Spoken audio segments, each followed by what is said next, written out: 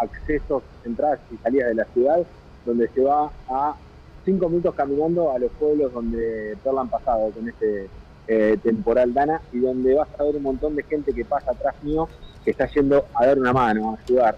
La solidaridad es grandísima que se ha visto en el día de hoy, desde que empezó a ocurrir esto en la jornada del martes, pero hoy se ha acrecentado mucho porque eh, es día no laboral acá en España, es un fin de semana largo, entonces se ha aprovechado justamente para, para hacer todo esto. También van a ver un montón de autos que están estacionados justamente detrás mío en lugares que en realidad no son para estacionar, mm. pero es gente que ha dejado su auto acá y que se está yendo a los pueblos donde nada más se puede ingresar caminando. Mm. Bueno, contame cuál es la situación actual. Veo, ya veo eh, sol, ya veo cielo despejado. Contame un poquitito, eh, ¿se aflojó el, tema de las, lluvias allí? Mirá, eh, la última noticia es que hace minutos nada más se actualizó el número de víctimas fatales a 205. 205 son las víctimas fatales hasta el momento en España por este Dana. 202 pertenecen acá a la comunidad valenciana. Eh, en estos momentos hay sol, la noche volvió a llover un poco, pero se prevén lluvias para el fin de semana. No Dana en concreto, que ya está atravesando la zona de las Islas Baleares. Hay alerta en, Mallorca, por ejemplo, eh, en estos momentos pero sí se prevé un poco de lluvia para todo lo que es la zona de Valencia para el, día de hoy, mañana y también para el domingo.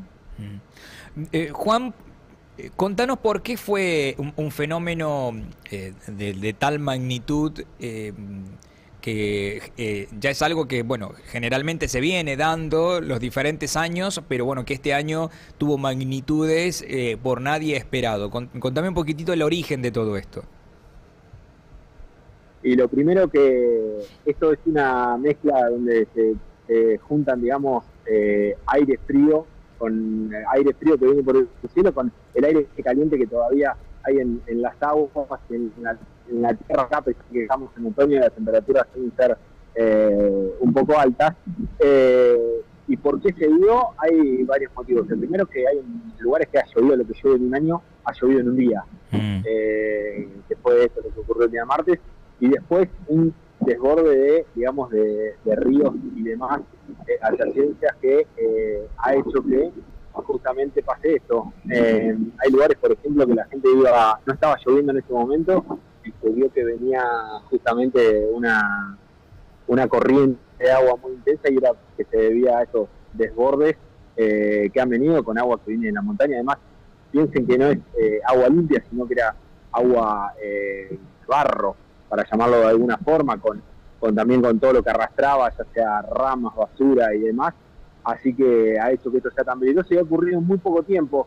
Eh, hay lugares que en menos de media hora pasaron de no tener nada a estar eh, con un agua que superaba los dos metros y medio, tres metros. Mm. Claro, y eso fue lo que sorprendió a mucha gente, bueno, obviamente en sus domicilios, no, no los advirtieron para que salgan de su casa y por eso tenemos tantas víctimas fatales, ¿no? Más de 200, lo que me acabas de decir. Sí, en realidad hubo una alerta que fue el martes a las 8 y cuarto, empezaron a sonar los teléfonos de todos nosotros, pero a este horario en este momento ya estaba avanzado todo lo que era el temporal y había problemas con muchos de los pueblos. Entonces, una recriminación y una polémica que hay un poco acá es porque se avisó, pero tarde. Eh, después hubo gente, y la mayoría en realidad no esperaba que se llegue a, a semejante magnitud. cuando vieron que el agua empezaba a correr, quisieron ir a sacar, por ejemplo, los autos, que hay mucha gente que ha fallecido porque ha quedado atrapada en los autos. Eh, hay gente que no quería abandonar obviamente su, vivienda tampoco y no ha llegado a salir o quiso salir y estaba cubierto por las entradas por eh, filas de autos que se han hecho, parecían como si fueran edificios de autos eh, que se han ido amontonando por lo que ha llevado la correntada, con un montón de problemas que hay ahora, por ejemplo, en las rutas, donde está muy difícil el acceso a los pueblos, por eso, por el desastre y los daños materiales que hay, pero también por la cantidad de autos que han quedado en la ruta por gente que lo ha abandonado, que se lo ha llevado el agua hasta ahí. Eh, Juan, ¿cómo estás? Buen día. Eh, con respecto a esta alerta que decías vos, porque había gente que decía que los medios habían dado, digamos, como a la mañana, o muy temprano, los medios de comunicación, el tema de la alerta y por eso hubo gente que pudo, digamos, este, ponerse a resguardo y hubo otra gente que recién lo vio cuando llegaba por celular el alerta y que ahí estuvo, digamos, también una diferencia, ¿no? Que creo que como a las 7 de la tarde fue que, llegó el alerta a través de, los mensajes de WhatsApp, pero bueno, ya era como muy encima de lo que fue el temporal. Vos ah, informéme si esto fue así, porque es lo que se comentaba ahí entre la misma gente. Sí, en realidad eh, ya el fin de semana se venía hablando de que iba a ser una semana complicada a nivel lluvia, que iba a llover bastante. Eh, se daba una especie de alerta, pero no llegar al punto máximo. En un momento del día había como una alerta naranja, no alerta roja. Eh, y después, sí, como decís, 8 y cuarto fue el horario donde los teléfonos empezaron a sonar. Hay una alerta que se está implementando ahora que empieza a sonar como si fuera una alarma en el teléfono, que bloquea todo lo que estás haciendo y queda como prioridad en la pantalla. Bueno, eso sí estaba, a me pasó, por ejemplo, estando en un, supermercado que empezó a sonar todo el supermercado, empezaron a sonar todos los teléfonos y eh, es justamente una alerta bastante importante que también transcurrieron durante los días siguientes dando otra información. Por ejemplo, en estos momentos, tanto la cantidad de gente que está junto a ayudar y, y a dar una mano, que se ha pedido que cese un poco la llegada de eh, voluntarios a los pueblos porque está entorpeciendo de alguna manera también la entrada de los equipos de emergencia y demás.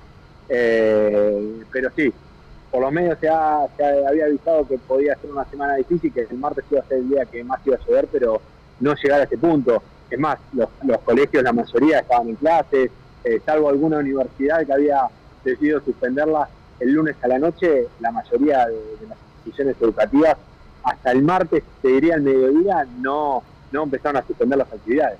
Mm. Eh, Juan, te mando un abrazo enorme, te agradezco estos minutitos para con nosotros acá en Argentina. ¿eh? Chicos, un abrazo grande, gracias por el contacto. Por favor, a vos. ¿eh? Juan eh, Ferrario es periodista argentino que vive en Valencia contándonos esta terrible situación. Estamos hablando de más de 200 muertos en un país del primer mundo por las inundaciones. Está bien, eso lo acaba de explicar perfectamente. Es un fenómeno que los ha sorprendido a todos. Que en media hora, imagínense ustedes, media hora de lluvia y ya tenés más de dos metros de agua en diferentes puntos de la ciudad. Ha sido sorprendente el fenómeno Dana que es conocido, pero nunca había tenido la magnitud que ha tenido este año. Y que todavía, bueno, fíjense ahí esa imagen que mostraba recién eh, Martín con la cantidad de gente yendo hacia las zonas donde estaban afectadas. Eh, es innumerable la cantidad de eh, ciudadanos comunes y corrientes que se ofrecen a ayudar. Bueno, que ahora están pidiendo que ya cese la cantidad porque ya es mucha, es mucha la gente. Vamos, Moni, voy con vos. Llegó lo nuevo en Pinturas a La Rioja. Pintura